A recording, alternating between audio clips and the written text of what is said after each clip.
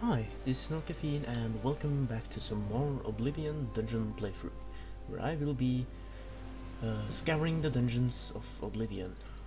And today's dungeon is Vilverin. Many will uh, remember this as the first dungeon you will, or ruin you will see when you uh, get out of the Imperial prison sewer. And uh, we uh, will uh, probably not be able to do much in here before getting killed because this is a rather big and dangerous room. However, we have to go through.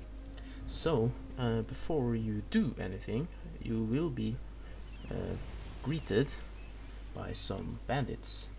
As you can see, we have two of them standing around over here.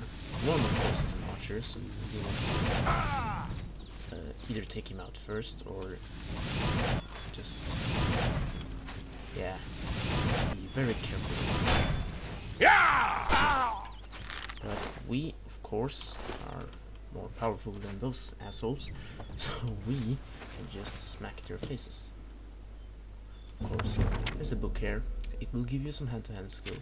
I will not grab it. However, you see that there is one, and we will now be focusing on the main dungeon itself. So, just checking around, uh, is there anything else you will want to grab? Of course there is a chest, always some chests around, but most importantly, the dungeon. So, uh, being a, an Ayleid ruin, of course be loads of stuff to do in it. So, upon entering the room, you will be greeted by one type of enemy. Well, well, look who we've A got. Oh, what's the matter? Is the baby got a... Yeah, the baby just beat your ass. So, um, not too big a deal, I feel. Not much in here except that guy, which will be calling you a baby. There is, of course, something to be aware of, and whoa, holy moly. I was just about to say there's a trap here, and I stepped on it, so be careful. That kind of scared the shit out of me. But yeah, you will now be able to enter into a small room and a staircase leading down to somebody standing down here. Of course, It's a another fight, you... bandit, which you easily disperse. Not much to brag about in that room. And um, I'm not really sure if I were so stupid that I actually passed by that room. I don't really think there is an easy way to enter it. But as you can see, there is, um, yeah, sorry. What's uh, will happen is that your kind of escape route will be through this place. So this door leads from the lowest level. So, um, a little divergence. Uh, we are now back in the room where you can clearly see there is a tripwire. So you'll want to trip it with your fingers. So you will now be entering a rather large room. Which uh, there probably will be a fight because there are, of course, bandits and rather nice amount of gear. Stared me right in the eyes before I killed him. And before we loot anything, we may want to kill off. First, that will come. Just in the meantime, we will loot this very easy chest, as you can see. Uh,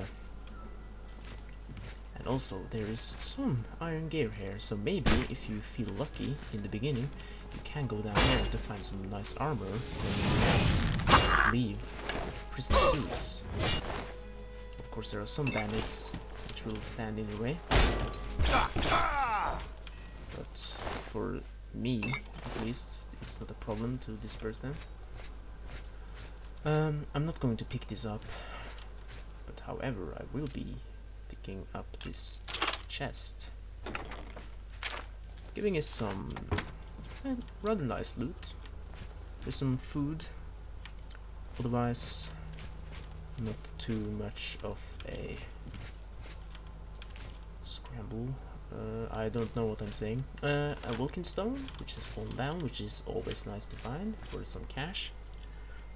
And yes, so we are now in the centerpiece of the room. Going this way will lead to the next level, so I will turn my back to that and enter the back part.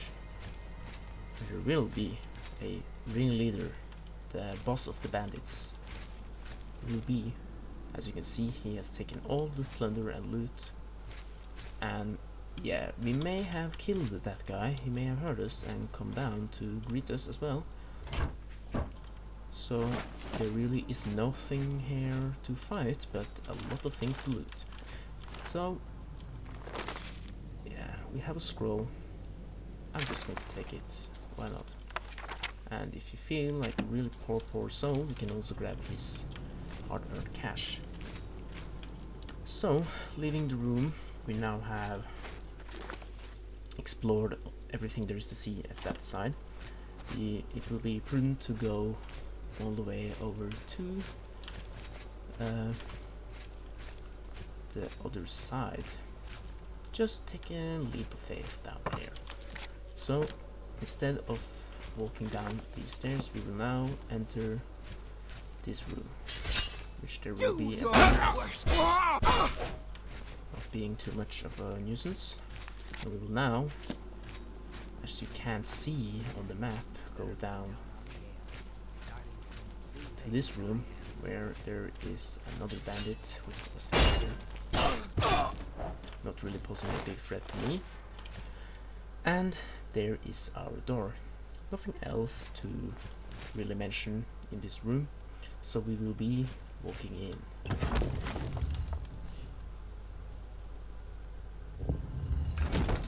Entering the canossel, we will be coming from the down um, downmost most part, uh, if that's even a word. and in the beginning, there won't be an enemy, not at first. However, be aware there is a bandit you want, it's hiding out here. So after smothering that one, you will want to go and grab this cask, which has some mort flesh, so you may uh, be able to guess what will come. Speaking of enemies, in here, no traps, don't be worried. Another cask, very easy to loot. And now, as we have completed this section, we will now head on what would be your uh, left hand's uh, uh, corridor. Walking on, we will come to a pressure plate, opening a rather tight door. Not so tight anymore. As you can see, it's filled with blood. So, um, be a bit aware. Don't have to fear just yet. Uh, we will be entering a room where there is a dead bandit. Maybe check out his corpse. He's also called Dead Bandit, so now um, we will be entering the place where uh, the transition from bandits turns into either undead or uh, creatures, so to speak. So the enemy may be a bit more frightening. Anyways, we will now enter another room where there is a pressure, pressure plate opening a secret passage. What will happen is that there is a nasty zombie hiding behind. Take a hit on us, just blocking his charge, and we will now be entering another room. Uh, the problem is that both these ways leads to the centerpiece. but I will be taking this um, firstly because we will soon oh and we level up well we will be coming to the next level store but that is not uh, my worry just yet so coming in uh, to another blind way before we enter what will seemingly be a big hall we can see to our left that there is a pressure plate opening this door but also some loot. So um, logically grab the loot first. Then trigger the pressure plate opening this door now you will enter a rather big hall uh, containing two enemies and one chest it will almost every time be a skeleton. As you can see, we have another one hiding out over there, which we, or I, really whacked. So, uh, also, uh, this is underwater area, as you can see, where there will be an Ayleid cask in this corner where I am standing right now. And if we had opened uh, or gone through the door which was locked, we would, would have come through this way. So I will just go up here, preparing myself to face another enemy, which should be here somewhere. There we are. Skeleton. I will now enter a room where there will be four doors. Each of these can be lockpicked open, but for the moment we will want to go. Yeah, this is a part uh, which I don't really know why you would, um, or it's self-explanatory that there is some loot on the other side of these doors. However, they have put some enemies behind them, so you really have to work for for uh, your loot, so to speak. So, uh, which I will show you now. Uh, the only thing you will gain from opening this door is some experience, maybe, which is always nice. but there is no loot to be had. However, the history is, or the deal is the same with this door. You can lockpick just to do it, which I may want to, or not. Or yeah, I'm just going to abort the attempt, but you can understand what I'm getting at. Um, but you will want to open this one. There is a dangerous rat behind that door, which um, is guarding a rather big chest. You have to excuse my lockpicking skills, they are a bit rusty.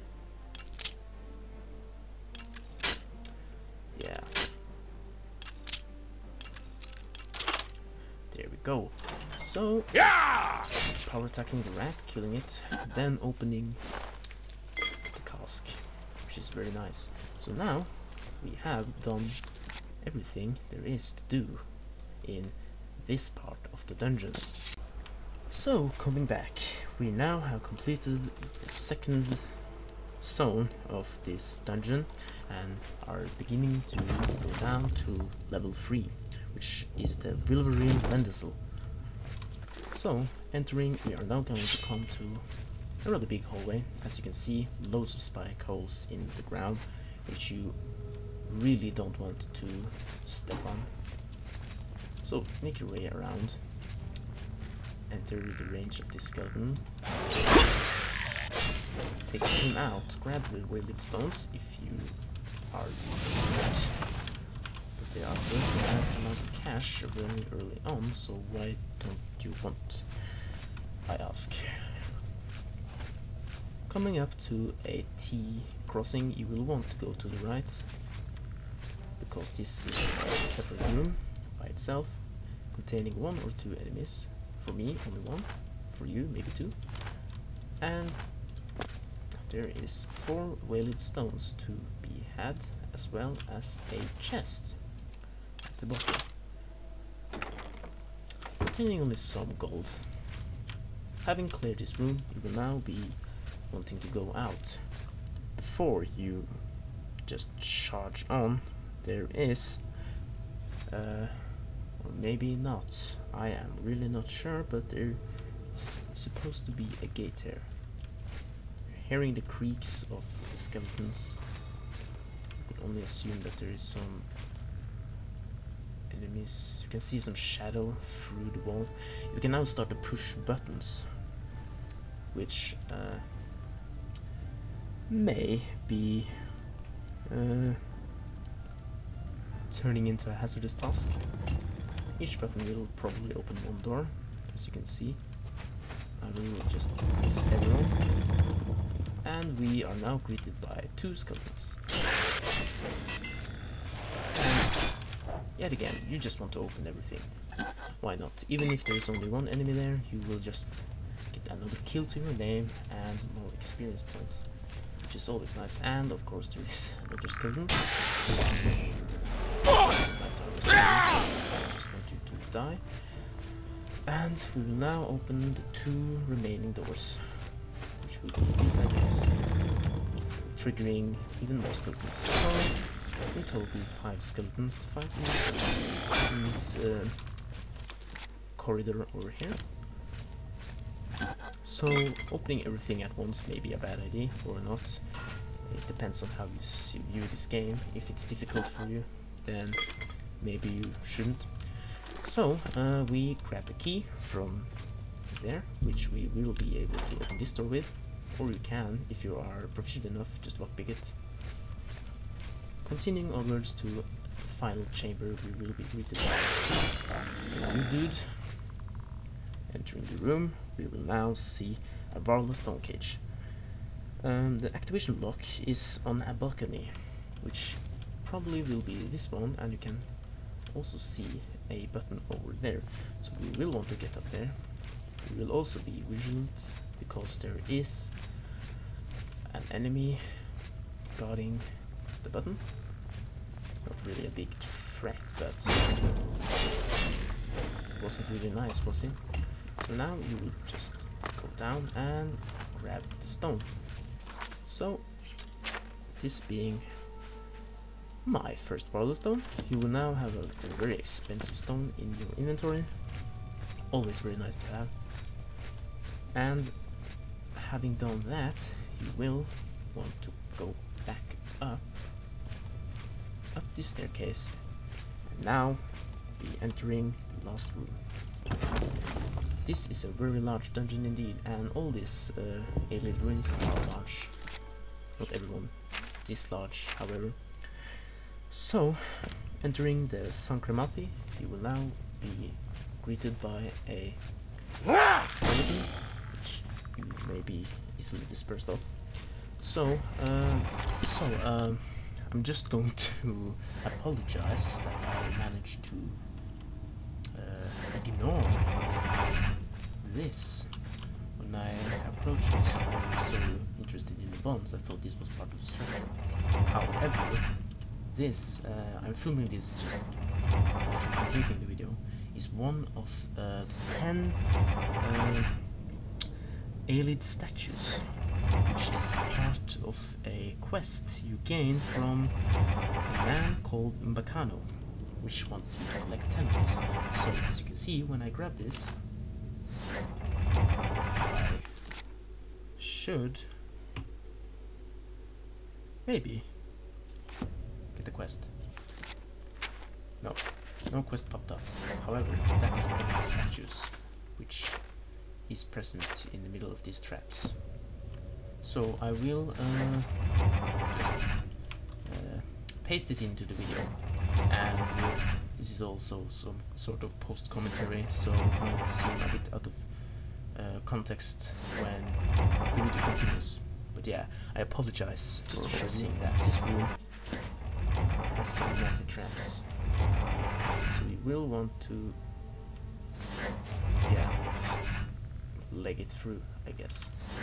And uh, that enemy just kill himself. So we will just wait for the intervals to stop. Get through there. Grab the potion. It may not be worth the risk, but why the hell not? And the story is basically the same for the next room. Of course, it's locked. Why wouldn't it be? So it will be proved. So I can't get into it that easy. You will be greeted by another skeleton. Disperse of him. And there will be a chest. And what is this? Another skeleton. So once you have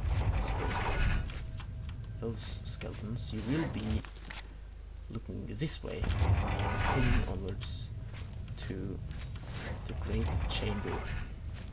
Here, you will be greeted by the boss, which is a necromancer. Which wasn't that hard to kill for me. It may be that my difficulty is down, but that is Jalbert. So he, being dispersed, you will now see a bedroll, and by the bedroll, in the middle of the room, there will be a reliquary, meaning it will hold some great treasures. So, uh, you probably want to be grabbing everything. Also, that key, which I just picked up. Just take this, maybe it's quest related, I don't know. Grab whatever you want, and uh, be on your merry way. There is uh, basically nothing else here to grab. So now you will be able to walk up and also grabbing that key will be giving me the opportunity to open this door and progressing to a rather uh, high up door which will give you some indication that you will be coming back up somewhere.